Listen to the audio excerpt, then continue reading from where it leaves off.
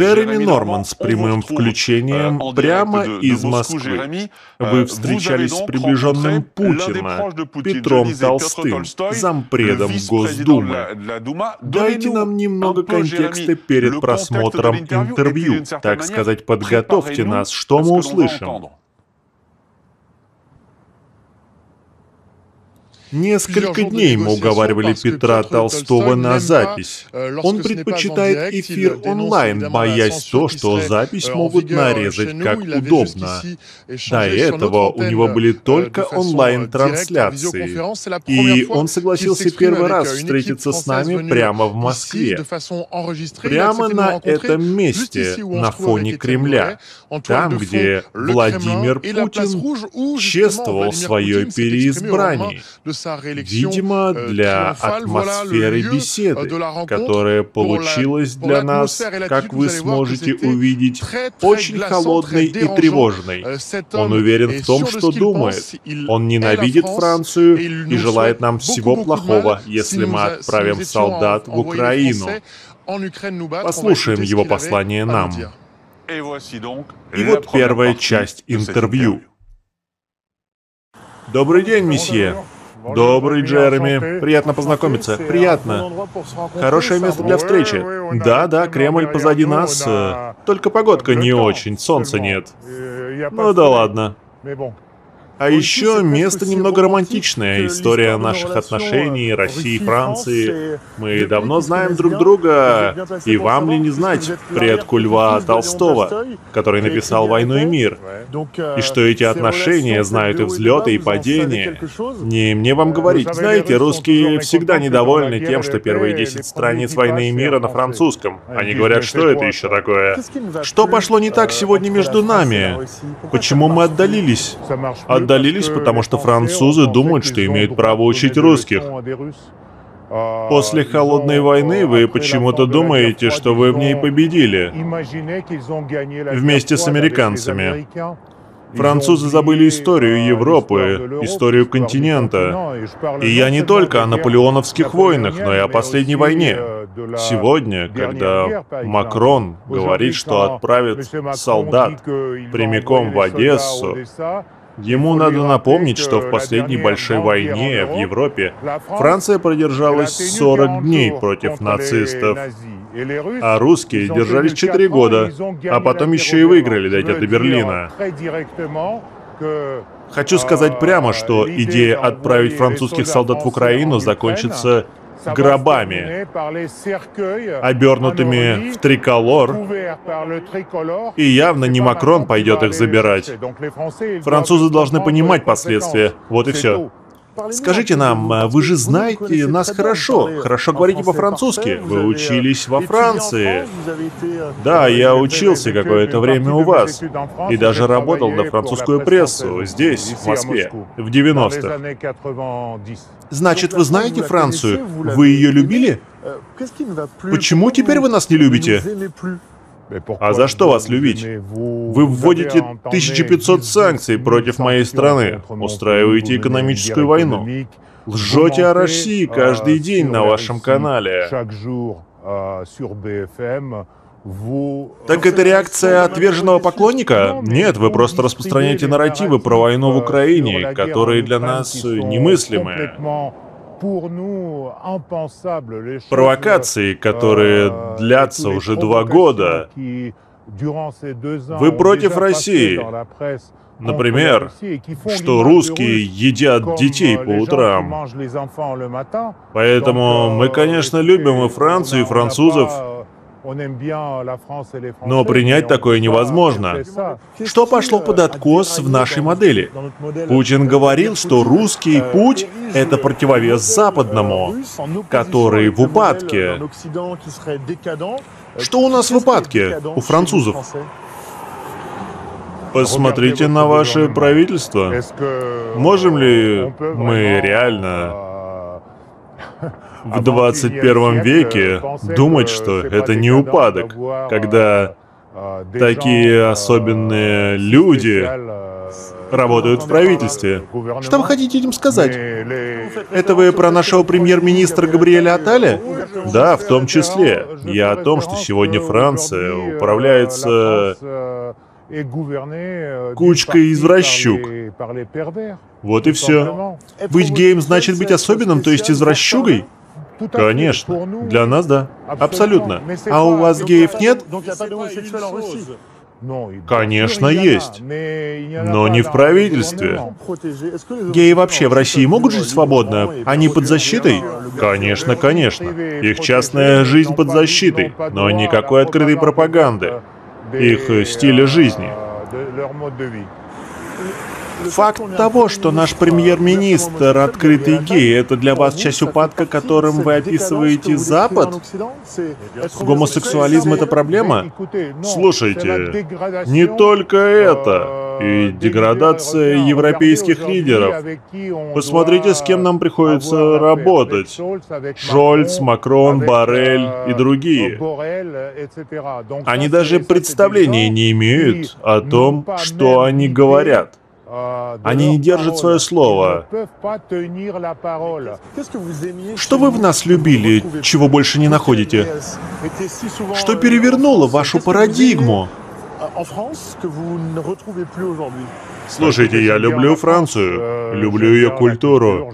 Я очень сожалею, что не смогу теперь отправить своих детей в Лувр, показать Париж. Потому что вы сильнее хотите скинуть ядерную бомбу на Париж. Речь скорее об этом. Конечно. Э, ваше телевидение считает, сколько времени нужно ядерной ракете, чтобы бахнуть в Париже. Две минуты. Так говорит Соловьев. Не две минуты, немного больше. Вы высчитываете все это в своих планах? Да, конечно, мы считаем, потому что исторически для нас важно быть уверенными в безопасности нашей собственной страны. И когда НАТО и Франция в том числе расставляют ракеты около наших границ и хотят того же в Украине, для нас это неприемлемо. Это была первая часть интервью, вторая уже через секунду, ее мы тоже разберем. То есть то, что сказал Петр Толстой, и ответим ему. А пока, Джереми, я возвращаюсь к вам в Москву. Чего тут только не было, и упадок Запада, и гомосексуальности Габриэля Аталя, ложь Парижа и нашего канала, и ядерные угрозы. Бинго какое-то, можно сказать, российской пропаганды.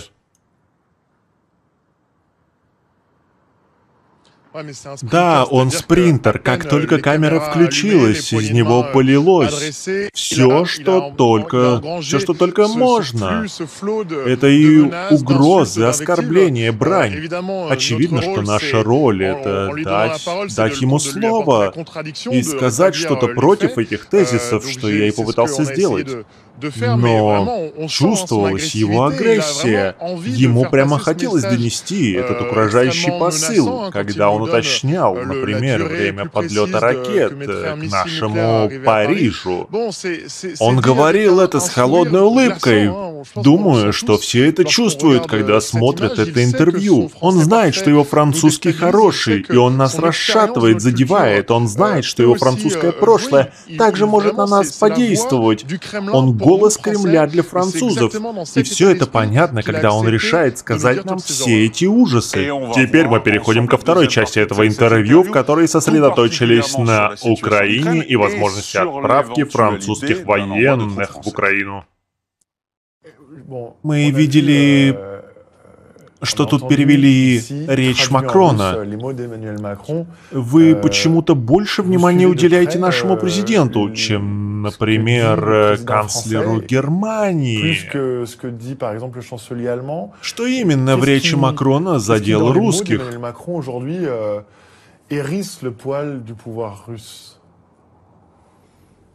Он первый из э, европейских лидеров, кто прямо поднял вопрос отправки солдат в Украину. Для нас это заявление очень беспокоящее, потому что это приближает нас к Третьей мировой войне. Это вы говорите о Третьей мировой, не французы? Да, конечно, но это вы хотите отправить солдат в Одессу. Русский город. Вы, французы, провоцируете на эскалацию, потому что после 300-400 убитых французов ваш президент будет в ловушке. Ему нужно будет или бросать в топку еще, или забирать э, остатки. Вы говорите, что Одесса русская. А правительство говорит, что Донбасс русский, да и большая часть Украины русская. Исторически никто и не спорит об общей культуре между этими землями и Россией. Это не общая культура, это одна и та же культура, потому что это один народ. Я, я был в Украине как журналист, э, и я встречал э, много украинцев, и все они говорили мне, что хотят быть подальше от России, сохранять независимость, оставаться украинцами, а не оставаться, а не становиться русскими. Вы слышали такие речи? Тех, кто говорит, оставьте нас в покое. Мы 30 лет ждали, пока эти украинцы прекратят э, э, делать э, глупости против 20 миллионов русских, что жили в Украине. Они запрещали их язык, образование на русском, запрещали общую историю. Украина — это моя страна. Мой прадед был мэром Киева. Это моя страна. И я не хочу, чтобы моя страна стала нацистской, как сегодня. И я не хочу, чтобы моя страна говорила на другом языке.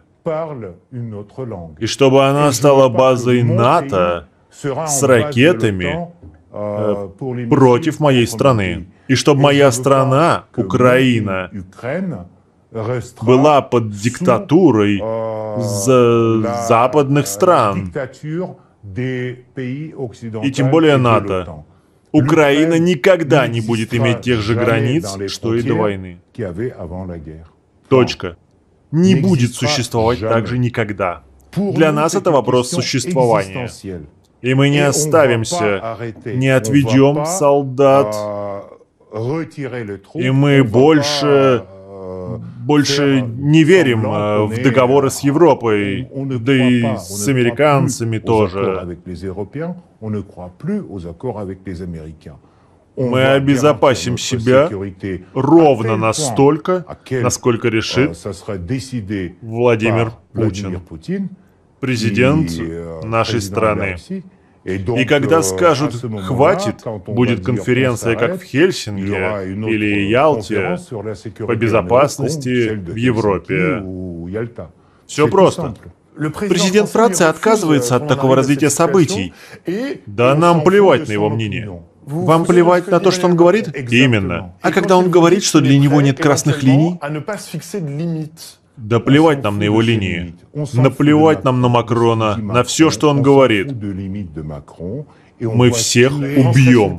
Но Франция также ядерная держава. Конечно, с двумя сотнями ракет. Мы убьем всех французских солдат, ступивших на украинскую землю. Всех.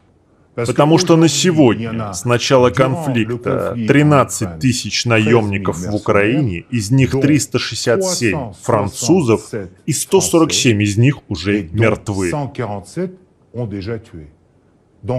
147 граждан Франции уже мертвы в Украине. И мы всех убьем. Не сомневайтесь. Вот такое интервью, да, есть о чем побеспокоиться.